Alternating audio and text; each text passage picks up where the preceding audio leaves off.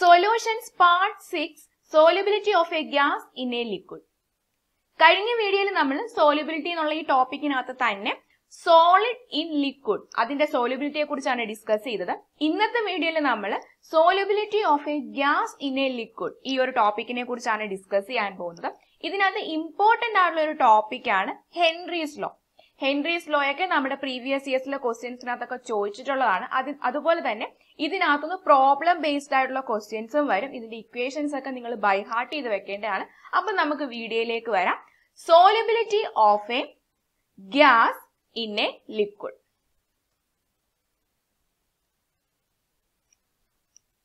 solubility of a gas in a liquid most of the gases are soluble in water as well as in some other liquids to more or less extent. Okay.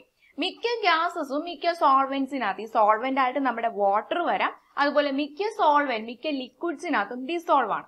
ഇനി ഏതൊക്കെ gases ഏതൊക്കെ ലിക്വിഡിലാണ് dissolve ചെയ്യുന്നത് എന്നുള്ളത് ആ ഗ്യാസിന്റെ നേച്ചറും അതുപോലെ ആ ഒരു ലിക്വിഡിന്റെ നേച്ചറും ആശ്രയിച്ചിട്ടാണ് ഇരിക്കുന്നത്. അതുപോലെ എത്രമാത്രം ഗ്യാസ് ആണ് ആ ഒരു ലിക്വിഡിനകത്ത് ഡിസോൾവ് ചെയ്യുന്നത് എന്നുള്ളതും നമ്മുടെ ഗ്യാസിന്റെയും അതുപോലെ സോൾവെന്റ് ആയിട്ടുള്ള ലിക്വിഡിന്റെയും നേച്ചർ അനുസരിച്ചിട്ടാണ് വരുന്നത്. ഓക്കെ ഓക്സിജൻ ആണ് നമ്മുടെ ഗ്യാസ്. അത് നമ്മുടെ വാട്ടറിനകത്ത് വളരെ കുറച്ച് എമൗണ്ട് മാത്രമാണ് ഡിസോൾവ് ചെയ്യുന്നത്. But H C L gas ആണെങ്കിൽ കൂടുതൽ ലാർജ് എക്സ്റ്റെന്റ് നമ്മുടെ സോൾവെന്റ് ആയ ലിക്വിഡിനകത്ത് ഡിസോൾവ് ചെയ്യും. ഓക്കെ അപ്പം മിക്ക ഗ്യാസസും നമ്മുടെ സോൾവെന്റിൽ ഡിസോൾവ് ആണ് എങ്കിലും എത്ര മാത്രം ഡിസോൾവ് ആകുന്നു എന്നത് നമ്മുടെ ഗ്യാസിനെയും അതുപോലെ ലിക്വിഡിനെയും ആശ്രയിച്ചിട്ടാണ് നമ്മൾ പറയുന്നത്. The solubility of a gas in liquid depends upon the following factor main ആയിട്ടുള്ള ഫാക്ടേഴ്സ് ആണ് നേച്ചർ ഓഫ് ദി ഗ്യാസ് അതുപോലെ നേച്ചർ ഓഫ് ദി സോൾവെ നമ്മുടെ ഗ്യാസ് ഏതാണ്? അതുപോലെ നമ്മുടെ സോൾവെന്റ് ആയിട്ട് നമ്മൾ ഏതാണ് എടുത്തിരിക്കുന്നത്? അതിനെ ആശ്രയിച്ചിട്ടാണ് എത്രമാത്രം സോലുബിൾ ആണെന്ന് പറയാൻ പറ്റുന്നത്. അതുപോലെ ഇമ്പോർട്ടന്റ് ആയിട്ടുള്ള രണ്ട് കാര്യങ്ങളാണ് എഫക്ട് ഓഫ് ടെമ്പറേച്ചറും എഫക്ട് ഓഫ് പ്രഷറും ഓരോന്നിനെ കുറിച്ച് നമുക്ക് ഡീറ്റെയിൽഡ് ആയിട്ട് നോക്കാം. നമുക്ക് ഫസ്റ്റ് വൺ നോക്കാം. Nature of gas and nature of solvent in general the gases which are easily liquefied are soluble in common solvents okay ഗ്യാസസിന്റെ ലിക്വിഫാഷനെ കുറിച്ചൊക്കെ നമ്മൾ ടെൻത്തിൽ പഠിച്ചിട്ടുള്ളതാണ്.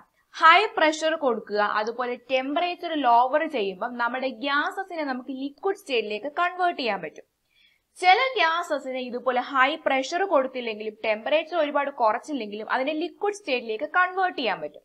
ഇതുപോലെ ഈസിലി ലിക്വിഫൈഡ് ആയിട്ടുള്ള ഗ്യാസസ് ലാർജ് എക്സ്റ്റെന്റ് നമ്മുടെ സോൾവെന്റിനകത്ത് ഡിസോൾവ് ചെയ്യും എന്നാണ് പറഞ്ഞിരിക്കുന്നത്. ഓക്കെ അപ്പം ഈസിലി ലിക്വിഫൈഡ് ആയിട്ടുള്ള ഗ്യാസസ് ഫാസ്റ്റ് ആയിട്ട് സോലുബിൾ ആണ് നമ്മുടെ സോൾവെന്റ്സിനകത്ത് അതുപോലെ many gases dissolve in water oxygen dissolve only a small extent in water it is this dissolve oxygen which sustain all aquatic life Okay. Oxygen വളരെ small extent മാത്രമാണ് നമ്മുടെ വാട്ടറിനകത്ത് dissolve പക്ഷെ ഈ ഡിസോൾവ് ചെയ്ത വാട്ടർ തന്നെയാണ് നമ്മുടെ അക്വാട്ടിക് ലൈഫിനെ sustain ചെയ്യാൻ വേണ്ടി ഹെൽപ്പ് ചെയ്യുന്നത്.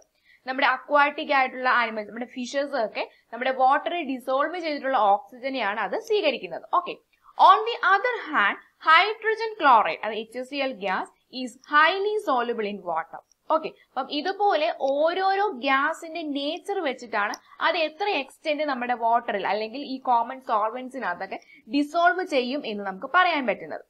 Carbon dioxide is more soluble in water than H two also the gases which are capable of forming ions in aqua solution and much more soluble in water than in other solvent okay അപ്പം നമ്മൾ കഴിഞ്ഞ വീഡിയോയിൽ പറഞ്ഞിരുന്നു polar ആയിട്ടുള്ള solute polar സോൾവെന്റ്സിനാണ് dissolve ചെയ്യുന്നത്. അതുപോലെ തന്നെ gases which are capable of forming ions okay so സൊല്യൂഷനകത്ത് ions ആയിട്ട് ഫോം ചെയ്യാൻ പറ്റുന്നവരൊക്കെ കൂടുതലും ഡിസോൾവ് ആകും എന്നാണ് പറഞ്ഞിരിക്കുന്നത്.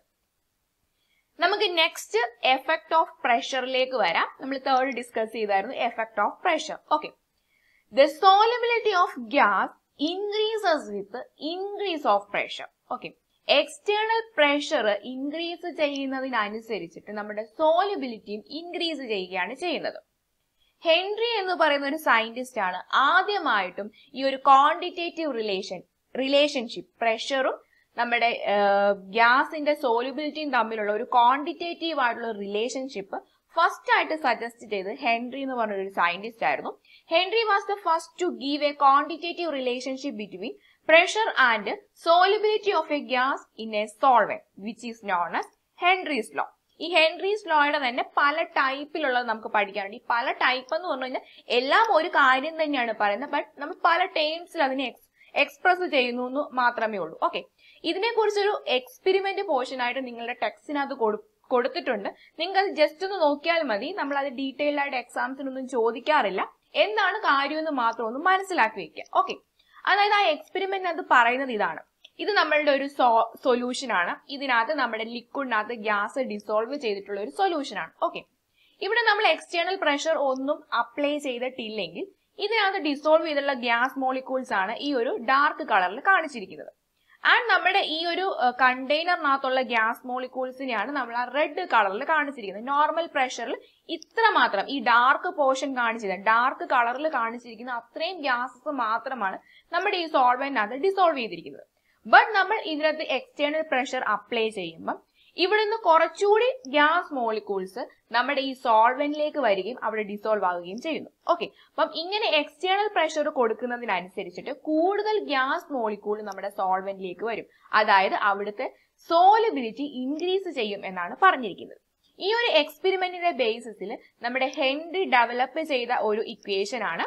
ഇതിന്റെ നമുക്ക് ഇനി കൂടുതൽ ഡീറ്റെയിൽ ആയിട്ടുള്ള കാര്യത്തിലേക്ക് പോവാം. ഇപ്പൊ നമുക്ക് ജസ്റ്റ് നോക്കാം. M proportional to T okay ഇവിടെ എം എന്ന് പറഞ്ഞു കഴിഞ്ഞാൽ the mass of the gas dissolve per unit volume okay unit വോളിയത്തിൽ ഡിസോൾവ് ചെയ്തിട്ടുള്ള ഗ്യാസിന്റെ മാസിനെയാണ് നമ്മൾ എം എന്ന് പറഞ്ഞിരിക്കുന്നത്. ആൻഡ് പി എന്ന് പറഞ്ഞു കഴിഞ്ഞാൽ പ്രഷറാണ് pressure of the gas in equilibrium okay കഴിഞ്ഞ വീഡിയോയിൽ നമ്മൾ ഡിസ്കസ് ചെയ്തതായിരുന്നു ഇക്വിലിബ്രിയത്തിൽ അറ്റൈൻ ചെയ്യുന്നതിനെ പറ്റി നമ്മുടെ റെസൊല്യൂഷന്റെയും ക്രിസ്റ്റലൈസേഷന്റെയും എമൗണ്ട് ഈക്വൽ ആയിട്ട് വരുന്ന റേറ്റ് ഈക്വൽ ആയിട്ട് വരുന്ന ആ ഒരു സ്റ്റേറ്റിനെയാണ് നമ്മൾ ഇക്വിലിബ്രിയം എന്ന് പറയുന്നത്. ഓക്കെ ഡൈനാമിക് ഇക്വിലിബ്രിയത്തിൽ അറ്റൈൻ ചെയ്തു നമ്മൾ പറയും. ഓക്കെ അപ്പം ഇവിടെ പറഞ്ഞത് നമ്മുടെ പ്രഷർ ഇൻക്രീസ് ചെയ്യുന്നതിനനുസരിച്ചിട്ട് യൂണിറ്റ് വോളിയത്തിലുള്ള ഗ്യാസ് ഇൻക്രീസ് ചെയ്യും. അതാണ് നമ്മുടെ യൂണിറ്റ് വോളിയത്തിലുള്ള ഗ്യാസിന്റെ മാസ് ഇൻക്രീസ് ചെയ്യും. അതായത് ഇത് രണ്ടും ഡയറക്ട്ലി പ്രപ്പോർഷൻ ആണ് എന്നാണ് പറഞ്ഞിരിക്കുന്നത്. അതായത് ഹെൻറി സ്ലോയിൽ പറഞ്ഞിരിക്കുന്നത് The law states that at a constant temperature, the solubility of a gas in liquid is directly proportional to the pressure of the gas. ഇത് ഇമ്പോർട്ടന്റ് ആണ്. ഇത് നിങ്ങൾ കാണാതെ പഠിക്കേണ്ട കാര്യമാണ്.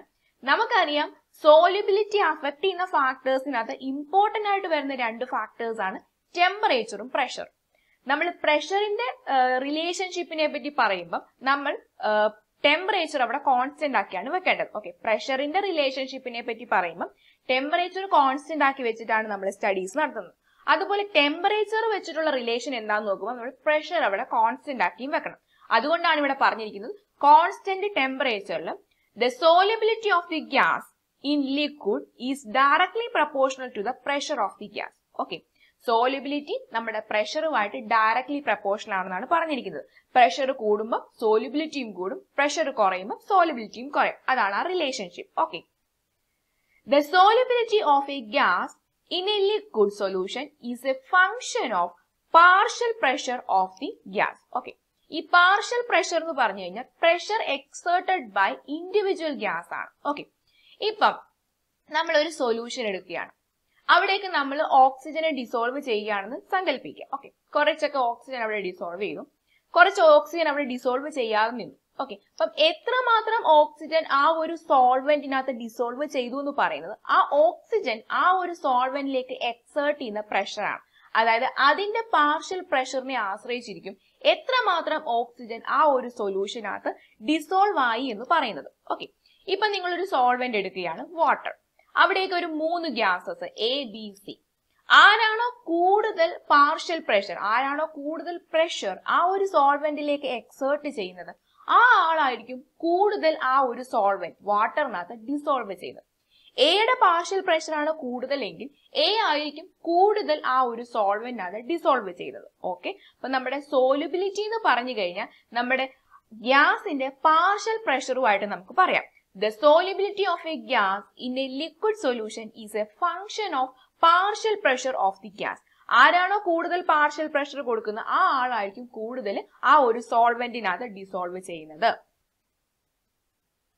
If we use the mole fraction of a gas in the solution as a measure of its solubility, then it can be said that the mole fraction of the gas in the solution is proportional to the partial pressure of the gas over the solution okay നമ്മൾ നേരത്തെ പറഞ്ഞ കാര്യം തന്നെയാണ് ഇവിടെ പറഞ്ഞിരിക്കുന്നത്. നമ്മൾ solubility നമ്മൾ മോൾ ഫ്രാക്ഷന്റെ ടേംസിലാണ് ഇവിടെ എക്സ്പ്രസ് ചെയ്തിരിക്കുന്നത്. സോലിബിലിറ്റി നമുക്ക് മോൾ ഫ്രാക്ഷന്റെ ടേംസിലും എക്സ്പ്രസ് ചെയ്യാം. സോലിബിലിറ്റി എന്ന് പറഞ്ഞു കഴിഞ്ഞാൽ ആ ഒരു സോൾവെന്റിനകത്ത് എത്ര മാത്രം ഗ്യാസ് ഉണ്ട് അതിനെയാണ് നമ്മൾ പറയുന്നത്. അത് തന്നെ നമുക്ക് മോൾ ഫ്രാക്ഷന്റെ ടേംസിലും പറയാം. ഓക്കെ അപ്പം mole fraction of a gas in the solution is proportional to the partial pressure of the gas over the solution നേരത്തെ നമ്മൾ പറഞ്ഞത് the solubility of the gas in the solution is proportional to the partial pressure എന്നായിരുന്നു. ഇവിടെ സോലിബിലിറ്റിക്ക് പകരം നമ്മൾ മോൾ ഫ്രാക്ഷന്റെ ടേംസിൽ ഇതിനെ express ചെയ്തു. Okay the partial pressure of the gas in vapour vapour phase is proportional to the mole fraction chi of the gas dissolve in the solution Okay. അപ്പോൾ Henry's law എന്ന് ചോദിക്കുമ്പോൾ നമ്മൾ ഇങ്ങനെയും എഴുതാം. The partial pressure of the gas in vapour phase is proportional to the mole fraction of the gas dissolve in the solution okay അപ്പോൾ one മാർക്കിനൊക്കെ define ചെയ്യാൻ പറഞ്ഞു കഴിഞ്ഞാൽ നമ്മൾ ഈ ഒരു ഡെഫിനിഷൻ എഴുതാം. ആൻഡ് ഇത് വെച്ചിട്ടുള്ള ഇക്വേഷൻ ആണ് P is equal to K H into chi നമുക്ക് ഈ ഇക്വേഷനെ കറക്റ്റ് ആയിട്ട് എഴുതുന്നത് പി ഈസ് പ്രപ്പോർഷണൽ ടു കൈ എന്നാണ്. മോൾ ഫ്രാക്ഷനും നമ്മുടെ പാർഷ്യൽ പ്രഷറും ഡയറക്ട്ലി പ്രപ്പോർഷണൽ ആണെന്നാണ് പറഞ്ഞിരിക്കുന്നത്. ആ പ്രപ്പോർഷണാലിറ്റി മാറ്റാൻ വേണ്ടി നമ്മൾ കെ എച്ച് എന്നൊരു കോൺസ്റ്റന്റ് ഇവിടെ ഇട്ടു. ഈ കെ എച്ച് എന്ന് പറഞ്ഞു കഴിഞ്ഞാൽ ഇവിടുത്തെ ഹെൻറീസ് കോൺസ്റ്റന്റ് ആണ്. Okay the constant K H is known as Henry's constant and it is the function of the nature of the gas നമ്മുടെ ഓരോ ഗ്യാസിനും അനുസരിച്ചിട്ടാണ് നമ്മുടെ കെ എച്ചിന്റെ വാല്യൂ വരുന്നത്. ഓരോ ഗ്യാസിനും വാല്യൂ ഡിഫറെന്റ് ആയിട്ടാണ് വരുന്നത്. ഓക്കെ ഇപ്പൊ കെ എച്ചിന്റെ വാല്യൂ നമുക്ക് ഇനി നെക്സ്റ്റ് നോക്കാം. അപ്പം ഓരോ ഗ്യാസിനെ അനുസരിച്ചിട്ടാണ് നമ്മുടെ കെ എച്ചിന്റെ വാല്യൂ വരുന്നത്. ഇനി higher the value of K H at a given pressure the lower is the solubility of the gas in the liquid okay അപ്പം ഈ ഒരു ഇക്വേഷൻ നോക്കുമ്പോൾ തന്നെ നിങ്ങൾക്ക് മനസ്സിലാവും.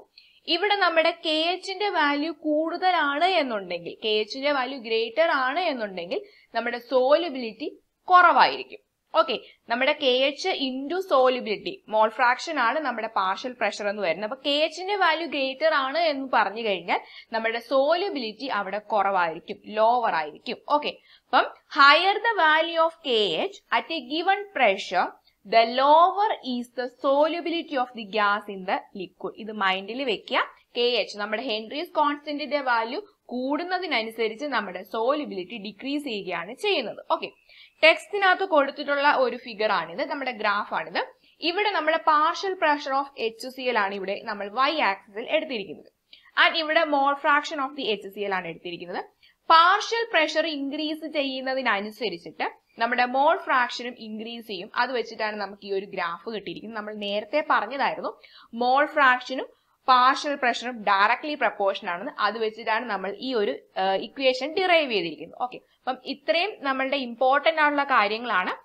നമ്മുടെ ഹെൻറീസ് ലോ ചോദിക്കുമ്പോൾ നമ്മൾ എഴുതേണ്ടത് the partial pressure of the gas in the vapour pressure sorry vapour phase is proportional to the mole fraction of the gas dissolve in the solution mole fraction എന്ന് പറഞ്ഞു കഴിഞ്ഞാൽ നമ്മുടെ സോലിബിലിറ്റി ആണ്. അതിനെ നമ്മൾ മോൾ ഫ്രാക്ഷന്റെ ടേംസിൽ എക്സ്പ്രസ് ചെയ്തു എക്സ്പ്രസ് ചെയ്തു എന്നേ ഉള്ളൂ. അത് വെച്ച് നമ്മുടെ ഇക്വേഷൻ കിട്ടുന്ന P is equal to K H into chi എന്നാണ്.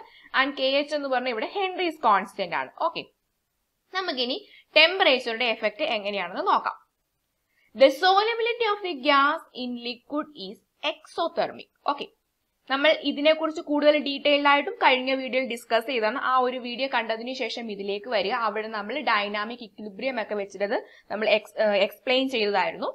Solubility of the gas decreases with rise in temperature അതിന് കാര്യം എന്താന്ന് വെച്ച് കഴിഞ്ഞാൽ നമുക്കറിയാം സൊല്യൂട്ട് പ്ലസ് സോൾവെന്റ് ആണ് solution okay dynamic equilibrium attain ചെയ്യുന്ന ടൈമിൽ solution plus sorry solvent plus solute is equal to solution എന്നുള്ള പ്രോസസ്സും അതുപോലെ സൊല്യൂഷൻ നേരെ തിരിച്ച് ക്രിസ്റ്റലൈസേഷൻ ആവുന്ന പ്രോസസ്സും അതായത് solution gives solvent plus solute എന്നാവുന്ന പ്രോസസ്സും ഈക്വൽ റേറ്റിൽ വരും.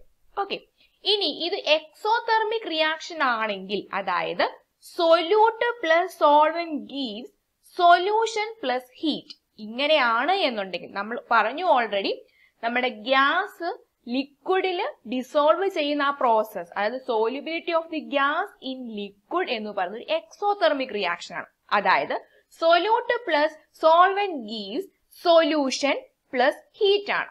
ഓക്കെ അപ്പം അതൊരു എക്സോതെർമിക് റിയാക്ഷൻ ആയതുകൊണ്ട് തന്നെ നമ്മൾ എക്സ്റ്റേണൽ ആയിട്ട് ടെമ്പറേച്ചർ ഇൻക്രീസ് ചെയ്യുമ്പോൾ സിസ്റ്റം ടെമ്പറേച്ചർ ഡിക്രീസ് ചെയ്യാനുള്ള പ്രോസസ്സാണ് നടക്കുന്നത്. അതായത് ഗ്യാസ് സോൾവെന്റിൽ ഡിസോൾവ് ചെയ്ത് സൊല്യൂഷൻ ആവുന്ന പ്രോസസ് ഒരു എക്സോതെർമിക് റിയാക്ഷൻ ആയതുകൊണ്ട് ടെമ്പറേച്ചർ ഇൻക്രീസ് ചെയ്യുമ്പോൾ ആ പ്രോസസ്സ് കറക്റ്റ് ആയിട്ട് നടക്കുന്നില്ല. ആ പ്രോസസ്സിന്റെ റേറ്റ് കുറയുന്നു. ഓക്കെ അതുവഴി നമ്മുടെ സോലബിലിറ്റി ഡിക്രീസ് ചെയ്യുകയാണ് ചെയ്യുന്നത്. സൊല്യൂട്ട് സോൾവെന്റ് ഡിസോൾവ് ചെയ്ത സൊല്യൂഷൻ ആകുമ്പോൾ എക്സസ് ഹീറ്റ് പ്രൊഡ്യൂസ് ചെയ്യുന്നുണ്ട്. അതുകൊണ്ട് ടെമ്പറേച്ചർ നമ്മൾ കൂട്ടിക്കഴിഞ്ഞാൽ എന്ത് ചെയ്യും? ആ പ്രോസസ്സ് നടക്കത്തില്ല. അതുവഴി നമ്മുടെ ഗ്യാസ് ലിക്വിഡിൽ ഡിസോൾവ് ചെയ്യുന്ന പ്രോസസ്സ് കുറയുന്നു. അതുകൊണ്ട് സോളിബിലിറ്റി ഡിക്രീസ് ചെയ്യുകയാണ് ചെയ്യുന്നത്. Okay different gases have different K H value നമ്മൾ ഓൾറെഡി പറഞ്ഞു. This suggest that K H is a function of the nature of the gas ഓരോ ഗ്യാസിന്റെയും നേച്ചർ അനുസരിച്ചിട്ടാണ് നമ്മുടെ കെ എച്ചിന്റെ വാല്യൂ വരുന്നത്. ഇവിടെ നമ്മുടെ ഓരോ ടെമ്പറേച്ചറിലും ഉള്ള ഓരോ ഗ്യാസിന്റെ കെ എച്ച് വാല്യൂ ആണ് ഇവിടെ കൊടുത്തിരിക്കുന്നത്. ഓക്കെ ഇവിടെ നിങ്ങൾക്ക് നോക്കുമ്പോൾ മനസ്സിലാവും. N two nitrogen two hundred and ninety three കെൽവിനിൽ അതിന്റെ കെ എച്ചിന്റെ വാല്യൂ വന്നിരുന്നത് seventy six point four eight ആണ്.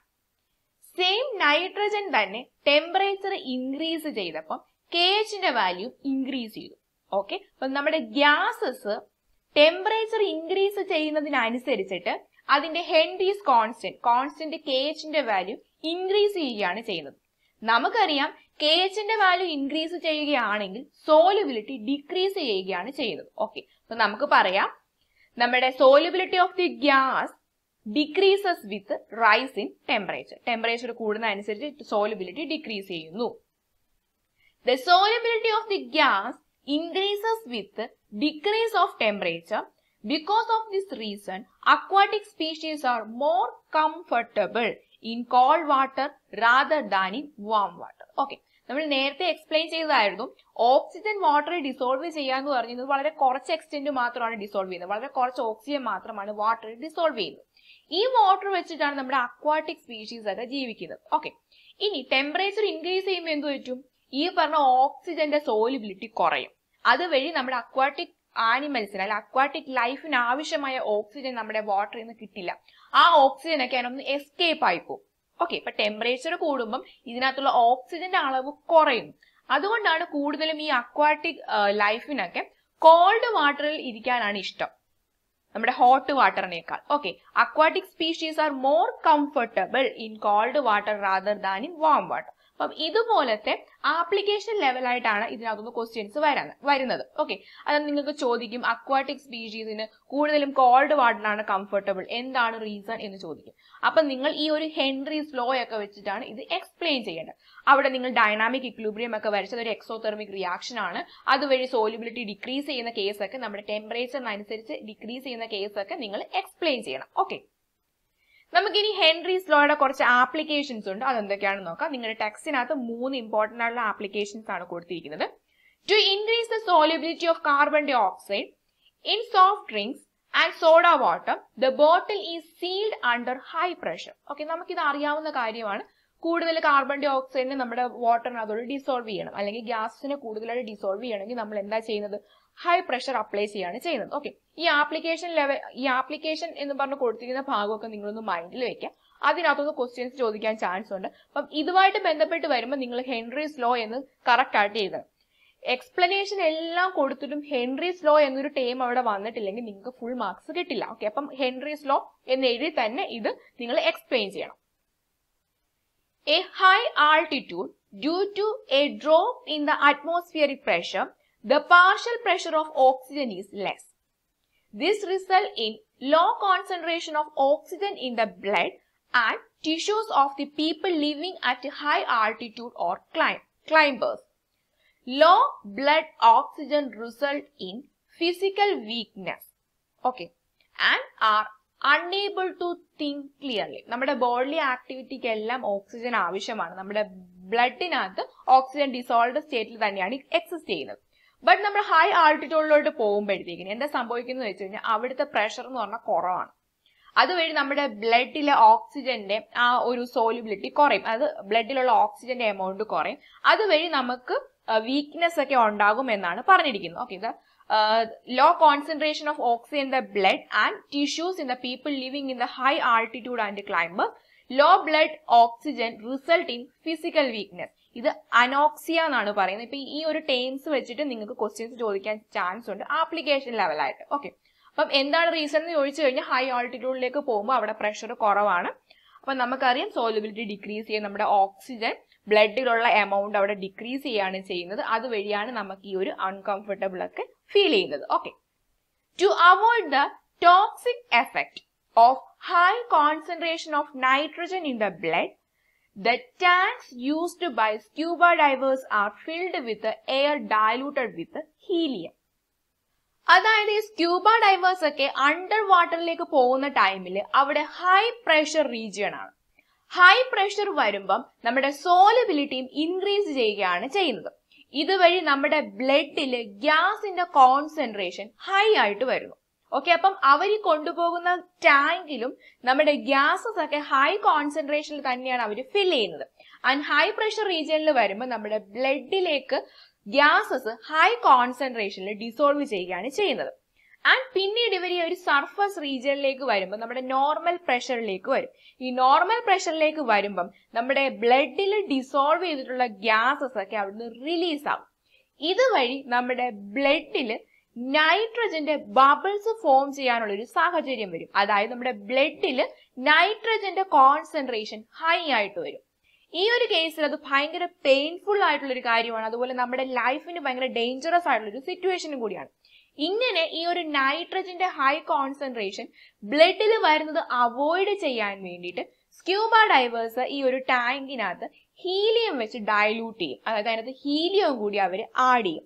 അതുവഴി നമ്മുടെ ബ്ലഡിൽ ഈ ഒരു ഹൈ കോൺസെൻട്രേഷൻ ഓഫ് നൈട്രജൻ വരുന്നത് നമുക്ക് അവോയ്ഡ് ചെയ്യാൻ പറ്റും. ഈ ഹീലിയം എന്ന് പറഞ്ഞാൽ നമ്മുടെ ബ്ലഡിന് അത്യം നമുക്കധികം പ്രോബ്ലം ഇല്ലാത്തൊരു ഗ്യാസ് ആണ്. അപ്പം ഈ ഒരു നൈട്രജന്റെ ഹൈ കോൺസെൻട്രേഷനെ അവോയ്ഡ് ചെയ്യാൻ വേണ്ടിയിട്ടാണ് ഈ ഒരു ഹീലിയം വെച്ചിട്ട് ഇവരിവിടെ ഡയലൂട്ട് ചെയ്യുന്നത്. ഓക്കെ അപ്പം ഇങ്ങനെ നമ്മുടെ ബ്ലഡിനകത്ത് ഹൈ കോൺസെൻട്രേഷൻ ഓഫ് നൈട്രജൻ അത് bubbles of the nitrogen form ചെയ്യുന്ന ആ ഒരു സിറ്റുവേഷനെയാണ് നമ്മൾ ബെൻസ് എന്ന് പറയുന്നത്. ബെൻസ് എന്ന് പറയുന്ന ആ ഒരു ടോക്സിക് എഫക്റ്റിനെ അവോയ്ഡ് ചെയ്യാൻ വേണ്ടി high concentration of nitrogen in the ബ്ലഡിനെ avoid ചെയ്യാൻ വേണ്ടിയിട്ട് ടാങ്കിനകത്ത് സ്ക്യൂബ ഡൈവേഴ്സ് നമ്മുടെ ഹീലിയം വെച്ച് ആ ഒരു എയറിനെ ഡയലൂട്ട് ചെയ്യുകയാണ് ചെയ്യുന്നത്. ഈ ഒരു ഹീലിയം കൂടെ നമ്മൾ അവിടേക്ക് ഇൻട്രൊഡ്യൂസ് ചെയ്യുന്നത് കൊണ്ട് അത്രയും കൂടി നമ്മുടെ നൈട്രജൻ ബ്ലഡിൽ വരുന്നതിന്റെ അളവ് നമുക്ക് കുറയുകയാണ് ചെയ്യുന്നത്. ഓക്കെ അപ്പം ഈ ഒരു ആപ്ലിക്കേഷൻ ലെവലുള്ള കാര്യങ്ങളൊക്കെ നിങ്ങളൊന്ന് ജസ്റ്റ് മൈൻഡിൽ വെക്കുക അത് വെച്ചിട്ട് നമ്മുടെ എക്സാംസിന് ക്വസ്റ്റ്യൻസ് വരാൻ ചാൻസ് ഉണ്ട്. ഈ ഒരു ആപ്ലിക്കേഷൻ ലെവലിൽ അത് പറഞ്ഞ കാര്യങ്ങളൊക്കെ ഉൾപ്പെടുത്തിയിട്ട് ക്വസ്റ്റ്യൻസ് വരുമ്പോൾ അത് ഈ ഒരു ഹെൻറീസ് ലോ വെച്ചിട്ട് വേണം നിങ്ങൾ എക്സ്പ്ലെയിൻ ചെയ്യാൻ. ഹെൻറീസ് ലോ നമ്മുടെ എക്സാംസിന് ചോദിക്കുന്ന ഒരു ക്വസ്റ്റ്യൻ ആണ്. ഇമ്പോർട്ടന്റ് ആയിട്ടുള്ള കാര്യമാണ്. ഇതിനകത്ത് ഇക്വേഷൻ നിങ്ങൾ ബൈ ഹാർട്ട് ചെയ്ത് വെക്കുക ഇതിനകത്തുനിന്ന് കുറച്ച് ഇൻഡെക്സ് ക്വസ്റ്റ്യൻസ് നിങ്ങൾക്ക് ചെയ്യാനായിട്ടുണ്ട്. എക്സാംസിന് വരാൻ ചാൻസ് ഉള്ളതാണ്. അതുപോലെ നമ്മൾ കംപ്ലീറ്റ് ചെയ്ത ഭാഗത്തും കുറച്ച് ഇൻഡെക്സ് ക്വസ്റ്റ്യൻസ് നമുക്ക് ചെയ്യാനായിട്ടുണ്ട്. അതെല്ലാം കൂടി ഉൾപ്പെടുത്തി ഒരു വീഡിയോ ഞാൻ നെക്സ്റ്റ് തന്നെ അപ്ലോഡ് ചെയ്യുന്നതായിരിക്കും. ഇന്നത്തെ വീഡിയോയിൽ നിങ്ങളുടെ എല്ലാ ഡൗട്ടും താഴെ കമന്റ് ആയിട്ട് ചോദിക്കാവുന്നതാണ്. കൂടുതൽ കെമിസ്ട്രി റിലേറ്റഡ് ആ ടോപ്പിക്കിന് വേണ്ടിയിട്ട് ഈ ഒരു ചാനൽ സബ്സ്ക്രൈബ് ചെയ്യുക. താങ്ക്